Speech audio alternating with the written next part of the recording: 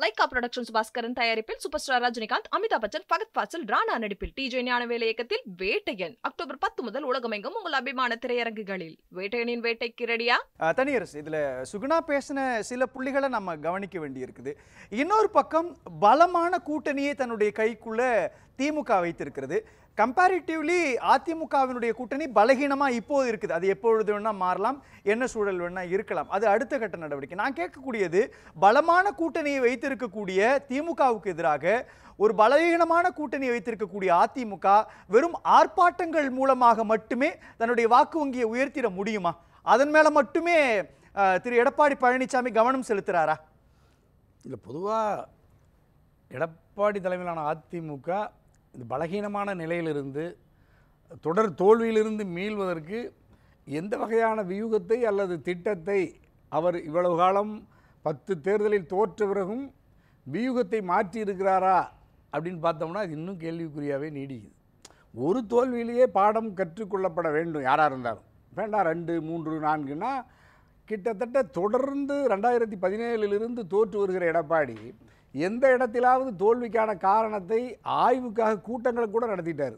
தொகுதி வாரியாக தலைமை அலுவலகத்தில் ராயப்பேட்டையில் நடத்துகிறார் அதில் என்ன விளைவுகள் அல்லது என்ன இவர் வந்து விவாதத்தில் மூத்த நிர்வாகிகளெல்லாம் அறிவு சார்ந்து விவாதித்து மாற்று திட்டம் அதாவது இல்ல அதுதான் சொல்லிட்டாரு. பாஜக கூட கூட்டணி வைத்தது பலகீனம்.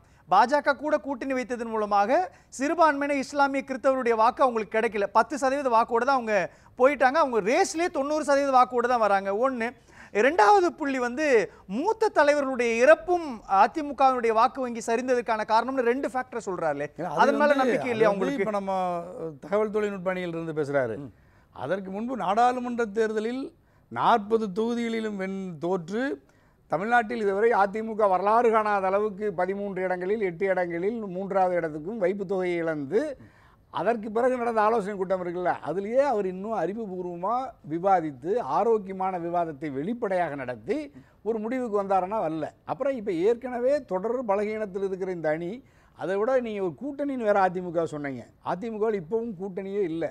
அது ஒரு பெயரளவிலான கூட்டணி. இப்போ நீங்கள் இந்தியா கூட்டணி திராவிட முன்னேற்ற கழக அணினா அது வந்து அரசும் அரசாக இருந்தாலும் தேர்தல் கூட்டணியாக இருந்தாலும் அன்றாட அரசியல் நிகழ்வுகளிலும் அந்த அணி ஒரே கருத்தை அந்த அணிக்காக பேசுகிறது.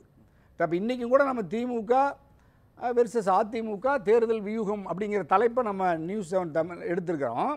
இதில் காங்கிரஸ் கட்சி வந்து அந்த கருத்தை பேசுது. ஒரு கூட்டணி கட்சியில் இருந்து காங்கிரஸ் சார்பாக இருந்து அண்ணன் கனகராஜ் வந்து இதை பேசுகிறாரு ஆனால் பிரதான கூட்டாளின்னு சொல்கிற எடப்பாடியுடைய வலதுகரத்தில் இருக்கிற தேசிய முற்போக்கு திராவிடர் கழகம் பொதுச் செயலாளர் அந்நியார் இருக்காங்க. எந்த தேமுதிகனுடைய செய்தி தொடர்பாளராவது வந்து அதிமுகவினுடைய அணிக்கு ஆதரவா அல்லது ஆ, அணிக்கு ஆதரவா? என்ன அந்த அணியில் அவரும் இருக்காங்க. இதுவரைக்கும் ஒரு ஒரு தொலைக்காட்சி விவாதத்தில் கூட தேர்தல் குறித்தோ அரசியல் அன்றாட நிகழ்வுகள் குறித்தோ தன்னுடைய கருத்தை பதிவு செய்யாமல் இருக்கிறாங்க.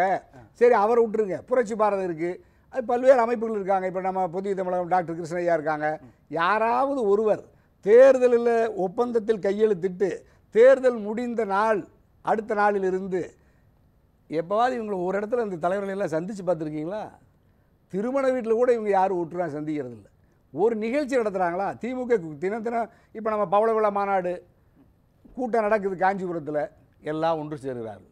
ஒரு நூல் வெளியீட்டு விழா எல்லாரும் ஒன்று சேர்றாங்க. வாரத்துக்கு அதுக்கு பின்னாடி சில விமர்சனங்களும் இருக்கு இல்லையா? எந்த விமர்சனம் இல்லை ஆட்சியில். ஆட்சியில் பங்கு அப்படின்னு திருமாவளவன் கேட்கும் பொழுது அதை ஈக்குவல் பண்றதுக்காக அவரை வந்து பொன்விழா மாநாட்டுக்குள்ள அழைக்கிறது அப்படின்றதும் சில கூட்டணி குச்சிக்குள்ளேயே ஒரு சலசலப்பு மது ஒழிப்பு மாநாடு அப்படின்ற பேசுறப்போ அந்த தேவை அவங்களுக்கு இருக்கிறப்போ அவங்க கூடுகிறாங்க. ஆனா அவங்க ஒற்றுமையா இருக்கக்கூடியவங்க ஏன் அதை திரும்ப திரும்ப காமிச்சுக்கணும்? ஏன் ஒற்றுமையாக இருக்காங்கிறதே தெரியலையே. கூட்டணியில் இருக்கிறாங்கிறதே கேள்விக்குறியா இருக்குயா? ஒரு நிகழ்வுகளில் கூட இவர்கள் ஒன்றாக இணைந்து பயணிக்காமல் இப்படி தனித்தனியாக இருந்து கொண்டு தேர்தல் அறிவிப்பை தேர்தல் ஆணையம் அறிவித்த பிறகு ஒரு வாரம் கழித்து இவர்களெல்லாம் வந்து ஒரு ஒரு ஒரு அதிகாரபூர்வமாக சந்திக்காமல் அங்கங்கே ஏதாவது விடுதிகளில் ஏதாவது முக்கிய பிரமுகர் வீட்டில் போய் சந்திக்கிறது. அப்புறமா அப்புறம் எல்லா தே தொகுதி உடன்பாடு மற்றவர்களெல்லாம் ஒழுங்கான பிறகு தேர்தலில் ஒரு தொகுதி இரண்டு தொகுதி ஐந்து தொகுதி ஒதுக்கீடுன்னு சொல்லி செய்தி வர்றதை தவிர இந்த அதிமுக எடப்பாடி தலைமையிலான அணி எந்த இடத்தில் ஒரு தத்துவ ரீதியாக அன்றாட அரசியல் நிகழ்வுகளில் ஆளுகிற திராவிட முன்னேற்ற கழக அரசுக்கு எதிராக அல்லது ஒன்றிய பாஜக அரசினால் ஏற்படுகிற வரிச்சுவை அதனால் படுகிற மக்கள் படுகிற துன்பம் துயரம் அதனுடைய கொள்கைகள் சித்தாந்தங்களால் தமிழ்நாட்டுக்கு வரக்கூடிய புதிய தேசிய கல்விக் கொள்கையினால் ஏற்பட்டிருக்கிற நிதி இழப்பு நீங்க தமிழ்நாட்டினுடைய அரசியலை ரொம்ப நுண்மையாக கவனிக்கக்கூடிய நபர். முன்னாள் சட்டமன்றத்திலையும் நீங்க உங்களுடைய பங்களிப்பு இருக்கு. அதிமுகவுடைய வரலாற்றிலே அப்படி கிடையாது. எலெக்ஷன் ஆரம்பிக்கக்கூடிய ஒரு ஆறு மாசத்துக்கு முன்னாடி தானே அவங்க கூட்டணி பத்தி பேசுறது அவங்க வெளியில வந்து ஆர்ப்பாட்டம் நடத்துறது. இந்த வரலாறு தானே சொல்லிட்டாங்க. அந்த இடம் தானே. நாம. இதுக்கு முன்னாடி அதை நம்ம வலியுறுத்தாத பொழுது திரு எடப்பாடி பழனிசாமிக்கு மட்டும் ஏன் நாம அதை எதிர்பார்க்கிறோம்? எப்பொழுதுமே அவர் கூட்டணியை வலியுறுத்திக்கிட்டே இருக்கணும் கூட்டணி உறுதியா இருக்குன்னு சொல்லிக்கிட்டே இருக்கணும். எப்பொழுதுமே சிறுபான்மையினுடைய பாதுகாவலராக இருக்கிறோம்னு சொல்லணும். எப்பவுமே மத்திய அரசு எதிர்ப்புல அவர் உறுதியா இருக்கிறாருன்னு சொல்லி நாம ஏன் அதிமுகவுல மட்டும் அந்த விமர்சனத்தை முன்வச்சு நாங்க- நாங்க அப்படி இல்லை இல்லை ஐயா ஐயா இருங்க கணக்கண்ணா ஒரு நிமிஷம் நான் சொல்லி முடிச்சிடுறேன். இருங்க, இருங்க. கூட்டணி கொள்கை கூட்டணி. இல்ல. அதை காண பேசு. வேற ஒன்றும் இல்லை. நான் வந்து இப்போ அதிமுக இது ஆறு மாதங்களுக்கு முன்பு தான் அம்மா வந்து நீ இது மாதிரியான போராட்டங்கள் தேர்தல் நகர்வுகளை நகர்த்துவாங்க. நான்கரை ஆண்டு காலம் ஓய்வில் இருப்பாங்க. அறிக்கை மட்டும் பக்கம் பக்கமாக வரும். தொலைக்காட்சியில் வரலாம். பிரிண்ட் மீடியாவிலையும் வரும். அச்சு ஊடகத்தில். ஆனால் ஏன் இன்னைக்கு மதுரையில் ஒன்பதாம் தேதி அன்னைக்கு விஷக்காய்ச்சல் அப்புறம் முல்லை பெரியாறு மற்ற ச இதிலும் கோரிக்கை முன்னெச்சரிக்கை நடத்துகிறாரு இங்கே மகளிருக்கு ஆர்ப்பாட்டம் நடத்துகிறாரு ஏன் இந்த மாதிரியான தொடர் கலாச்சார ஆர்ப்பாட்டம்? இதெல்லாம் அம்மா தான் நடத்த மாட்டாங்க. நடத்தி இருக்கிறாங்களே நீங்கள் தான் சொன்னீங்களே. ஆறு மாதத்துக்கு முன்னாடி தான் இல்ல. கடந்த ரெண்டு விஷயம் நான் ஒரே ஒரு விஷயம் கேட்கிறேன் தண்ணீர் ஒரே ஒரு விஷயம் தான் எப்படி திமுகவுக்கு ஒரு பொன்விழா மாநாடு இருக்கிறதோ அப்படித்தானே அதிமுகவுக்கு ஒரு மதுரையில ஒரு மாநாடு கூட்டி அவங்க பிரம்மாண்ட கூட்டத்தை காமிச்சிட்டாங்க. ஏன் திமுகவை ஒத்துக்கொள்ளக்கூடிய நம்ம அதிமுகவினுடைய மாநாட்டை மறைக்கிறோம்? அதையே நம்ம பார்க்கல. இல்லை சரி மாநாடு எதுக்காக போடுறாங்க? பலத்தை கா- காமிக்கிறதுக்காக. இல்ல. அந்த பல பலத்தை எது எது பலத்தை வெளிப்படுத்தும்னா அந்த மாநாட்டில் அது இயற்றுகிற தீர்மானங்கள் அது எடுக்கிற கொள்கை பிரகடனங்களை ஒட்டி நாட்டு மக்கள் அதன் மீது ஒரு தாக்கத்தை ஏற்படுத்தும்.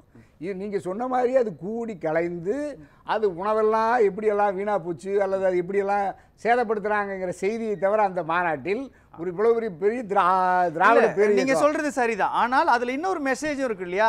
இஸ்லாமியர்களுடைய நலனில் அதிமுக பங்களிப்பு இல்லை அப்படின்றப்போ எஸ்டிபிஐ கட்சியை பக்கத்துல உட்கார வச்சுக்கிட்டு ஒரு பங்களிப்பை ஒரு உறுதி மாநாட்டை அப்படின்றது. ஒரு டேர்னிங் பாயிண்ட் தானே அதிமுகவுக்கு அதாவது எஸ்டிபிஐ வரலாற்றிலேயே எந்த அரசியல் கட்சிக்கும் தராத ஒரு மரியாதையை எடப்பாடிக்கு தந்து அழைச்சிட்டு போனாங்க. இவர் வந்து தந்தை பெரியார் பேரறிஞர் அண்ணா புரட்சி தலைவர் புரட்சி தலைவர் அம்மாவினுடைய திராவிட பாரம்பரிய வாரிசு போர்வால் இதுவோ வருகிறாருன்னு அழைச்சிட்டு போனாங்க. இப்போ கூட நான் பார்க்குறேன் எஸ்டிபிஐ மாநாட்டில் எடப்பாடியோடைய பேச்சை பாருங்களேன். எனக்கு ட்ரெயினுக்கு நேராச்சு. நான் வந்து நீங்கள் நல்லா பண்ணியிருக்கீங்க. ஆரியமாக நல்ல வரவேற்பு. நன்றி வணக்கம் நான் போயிட்டு வரேன்னு சொல்கிறாரு அது எஸ்டிபிஐங்கிறது எவ்வளோ பெரிய ஒரு கட்சி. இந்தியாவில் சிறுபான்மை மக்களை பிரதிநிதித்துவப்படுத்தி இஸ்லாமிய மக்களுக்கு ஏற்பட்டிருக்கிற அச்சுறுத்தல் என்ன? அந்த அச்சுறுத்தலிலிருந்து திராவிட பேர் இயக்கமாக இருக்கிற இந்திய நாட்டினுடைய ஜீவ அரசியல் சாசனத்தினுடைய அடிப்படை கோட்பாடு மதசார்பற்றது. நான் மதசார்பற்ற தன்மையை இந்தியாவில் பாதுகாக்க இந்தியாவில் இருக்கிற இருபது கோடி இஸ்லாமிய உறவுகளை அண்ணா திராவிட முன்னேற்ற கழகம் உங்களுக்கு அரணாக இருக்கும். நீங்கள் எந்த இடத்திலும் அஞ்ச தேவையில்லை. பாஜக அல்லது இந்துத்துவ சனாதன சக்திகளை முறியடிப்பதற்கு இதோ உங்களுடைய எடப்பாடி உங்களுடைய சகோதரன் உங்கள் வீட்டு பிள்ளை இருக்கிறேன். ஒரு வார்த்தை. ஏன் சொல்லலை? நீங்க பேசுறது சரிதான் தனியரசு. நான் கேட்கிற ஒரு கேள்வி பாஜகவோடு கூட்டணி வைத்ததை தவிர இஸ்லாமிய கிறிஸ்தவர்களுக்கு எதிராக எடப்பாடி பழனிசாமி என்கிற தனிநபரோ அல்லது அதிமுக என்கிற ஒரு கட்சி அமைப்போ எந்த இடத்துல துரோகம் பண்ணிட்டாங்கன்னு நம்ம சொல்ல முடியும்? இந்த விஷயத்துல அவங்க துரோகம் பண்ணிட்டாங்கன்னு குடியுரிமை திருத்த சட்டத்தில் யார் துரோகம் பண்ணா? குடியுரிமை திருத்த சட்டத்தில் யார் துரோகம் செய்து இந்தியாவிலேயே பாஜக அல்லாத ஒரு மாநிலத்தினுடைய முதலமைச்சர் குடியுரிமை திருத்த சட்டத்தினால் எந்த இஸ்லாமியர்களுக்கும் கடுகளவும் முடியளவும் ஆபத்து வராதுன்னு சொல்லி சட்டமன்ற பேரவையில் பத்துக்கும் மேற்பட்ட முறை பதிலளித்து விட்டு குடியுரிமை திருத்த சட்டங்களுக்கு எல்லாம் அந்த போராட்டங்களை எல்லாம் தேவையற்றதுன்னு யார் நிறுவ முயற்சி பண்ணனா இது எல்லாமே வந்து சட்டமன்ற தேர்தலில் எதிரொலிக்குமா? எல்லாம் எதிரொலிச்சு தானே தோத்து போயிட்டார். நான் குடியுரிமை திருச்சட்ட போராட்டத்தில் தான் ஆட்சியை இழந்தார் எடப்பாடி. விவசாயிகளினுடைய மூன்று வேளாண் சட்டங்களை எதிர்த்து இந்தியாவே போராடுகிறது. உலக நாடுகளெல்லாம் கண்டிக்குது. ஒரு ஜனநாயக நாட்டில் எழுநூறு பேர் போராட்ட களத்தில் செத்து மடிகிறான். அறவழி போராட்டத்தில் குளிரில் மலையில் கொட்டுகிற பணியில். எடப்பாடி ஒரு ஜனநாயக இயக்கம் ஏழைகளுக்காக உருவாக்கப்பட்ட மகத்தான மக்கள் பேர் இயக்கம் ஏழைகளின் சிரிப்பில் இறைவனை காண்பேர் என்று சொன்ன அண்ணாவின் தத்துவத்தை ஏற்றுக்கொண்ட எடப்பாடி நீங்கள் ஏழைகளெல்லாம் அங்கே விவசாயி செத்து முடிகிறான் ஆனால் நானும் விவசாயின்னு பச்சை டர்பனை கட்டிக்கிட்டு துண்டை கட்டிக்கிட்டு போன எடப்பாடி அந்த மூன்று வேளாண் சட்டங்களை ஆதரித்து வாக்களித்து அந்த மோடிக்கு ஆதரவாக கரம் பற்றி நின்றது எடப்பாடி தானே. அதிமுக இந்த மாத்தி கேட்கல. வேற ஒன்றும் சொல்லல. பாஜகவின் எந்த திட்டத்தை அதிமுக எடப்பாடி எதிர்த்தாருன்னு சொல்லுங்க. எதையுமே எதிர்க்கல. முத்தலாக்கு வரைக்கும். அப்ப நீ அப்புறம் எப்படி இஸ்லாமியர்கள் நம்புவாங்க? முந்நூற்றி எழுபது முந்நூற்றி எழுபதியா காஷ்மீர்? ஆமா. அதையும் ஆ, எதிர்க்கலாம் ஆ, எதுக்குல? அதையும் அதுதான் அவருடைய ஆட்சி காலத்துல. இல்ல, அவர் அவ- அவருடைய ஆட்சி காலத்துல தான் மா- அதாவது மா- மத்தியில் கூட்டாட்சி மாநிலத்தில் சுயாட்சின்னு சொன்ன அண்ணா அண்ணாவின் தத்து வாரிசு எடப்பாடி ஆர்டிகல் முந்நூற்றி எழுபது எடுத்துட்டு சிறப்பு அந்தஸ்து எடுத்துட்டு சட்டமன்றத்தையே கலைச்சிட்டாங்க. இல்லை நீங்கள் சொல்கிறது எனக்கு புரியுது. ஆனால் தமிழ்நாட்டு தேர்தல் களம் அப்படின்னு வரும்பொழுது பரந்தூர் விமான நிலையம் மக்கள் கண்முன்படி வரும் தானே கள்ளக்குறிச்சியில் கள்ளச்சாராய மரணம் அப்படின்றதும் தமிழ்நாட்டு மக்கள் முன்னாடி வரும் இல்லையா?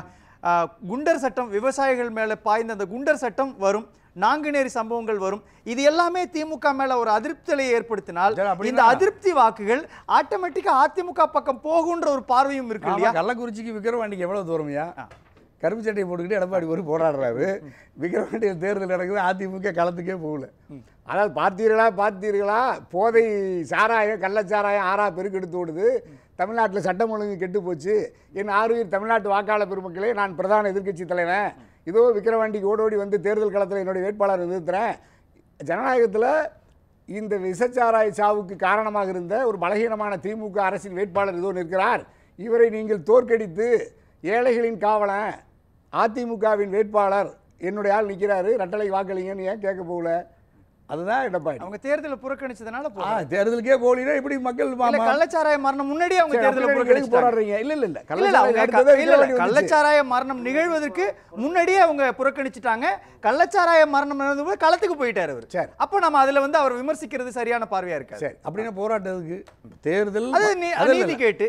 அதுதான்யா, இப்ப நான் வந்து முதல்லயே போராடி மக்களை தன்வசப்படுத்துறதுக்கு தான் போராட்டம் நடத்துறது அதாவது ஆளுங்கட்சியை தண்டிக்கிறதுக்கு ஒரு போராட்டத்தை நடத்திட்டு ஆளுங்கட்சி தண்டிக்கிறதுக்கு எதிர்க்கட்சிக்கு வாக்களிக்கலாம்னு ஒரு வாக்காள காத்திருக்கிறேன் நான். போட்டியிலேயே எதிர்க்கட்சி இல்லை. நான் என்- என்னுடைய வாக்கு யாருக்கு செலுத்துவேன்? இதுதான் எடப்பாடி.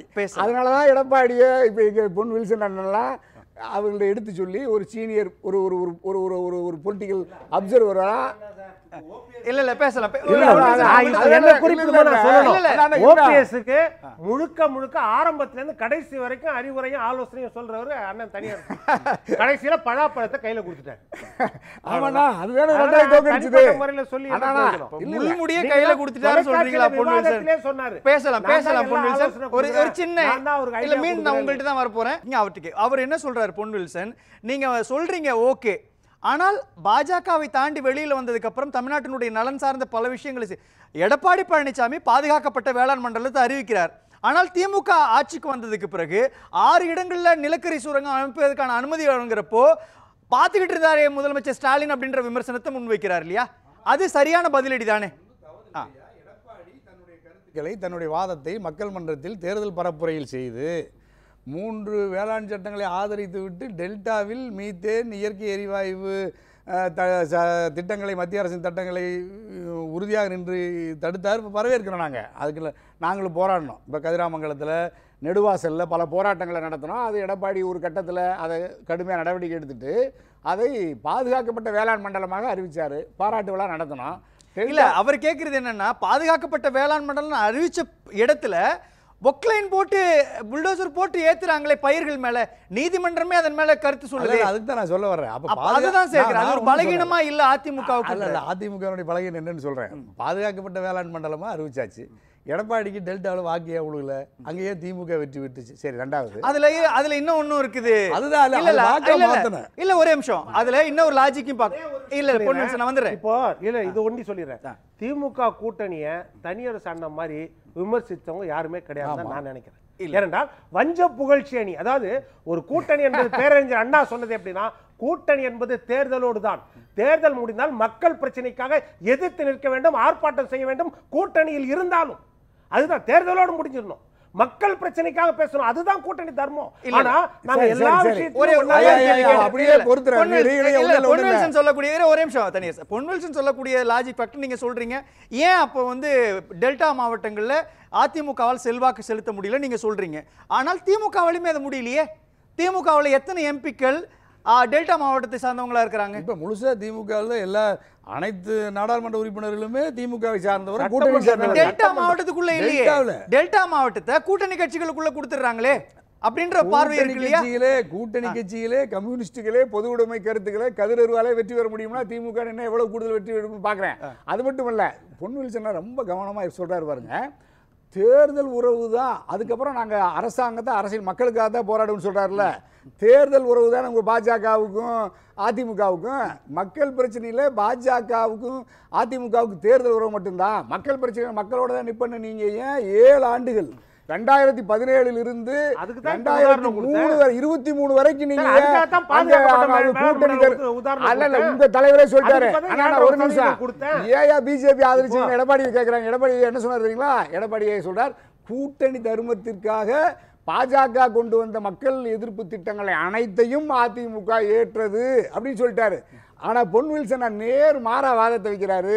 நாங்கள் வெறும் தேர்தல் உறவு மற்ற நேரத்தில் மக்கள் பக்கம் சொல்றாரு. ஆனா இவர்கள் அதற்கு மாறாக தேர்தல் உறவு மட்டுமல்ல மக்கள் விரோத சட்டங்கள் வரும்போதும் பாஜகவுக்கு துணை நின்று வாக்களித்து ஆதரவாக சட்டமன்றத்திலும் பேசிய எடப்பாடி முதலமைச்சர் மக்கள். தண்டிக்கிறார் நான் வந்துடுறேன்.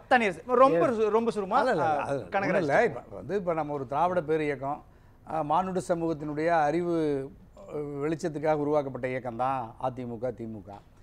அந்த கட்சியில் அதிமுக இப்படி ஒரு பலகீனப்பட்டு வர்றதை நம்ம யாரும் விரும்பல. தமிழ்நாட்டு வாக்காளர் பெருமக்கள் அல்லது அது ஒரு ஐம்பது ஆண்டுகளை கடந்த ஐம்பத்தி மூன்றாவது நாட்டில் அடியெடுத்து வைக்கிறது. அதற்கு கூட இப்போ நம்ம எடப்பாடியார் விழா எடுக்கிறார். மகிழ்ச்சி வாழ்த்துறோம். அந்த கட்சியினுடைய அடிப்படை கொள்கைகளை தானும் உள்வாங்கி கொண்டு தன்னுடைய கட்சியின் நிர்வாகிகளுக்கும் அந்த கொள்கையை கடத்தி கடைக்கோடியில் இருக்கிற கடைசி மனிதனுக்கும் தமிழனுக்கும் அந்த உணர்வை ஊட்டி எதேச்சதியான பாசிச அல்லது மதவாத கருத்துக்கள் தமிழ் மண்ணில் ஊடுருவாமல் தடுத்து நிறுத்துகிற பெரும் பொறுப்பு எடப்பாடிக்கு உண்டு. ஆகவே அது மகளிர் விடுதலை ஒடுக்கப்பட்ட சிறுபான்மை மக்களின் நலன் நேரம், ஒரு மணி நேரம் காத்துட்டு இல்ல, உறுதி பாதுகாப்பை வேணுங்கிறதுனால அந்த அந்த களத்தில் நின்று எடப்பாடி பயணிக்கணுங்கிறதையா நம்ம எல்லாருடைய வேண்டுகோள் அதை தான் இந்த தேர்தல் வியூகத்தில் எடப்பாடி எடுக்கணும்னு வேண்டுகோள் வைக்கிறோம். பேசலாம்.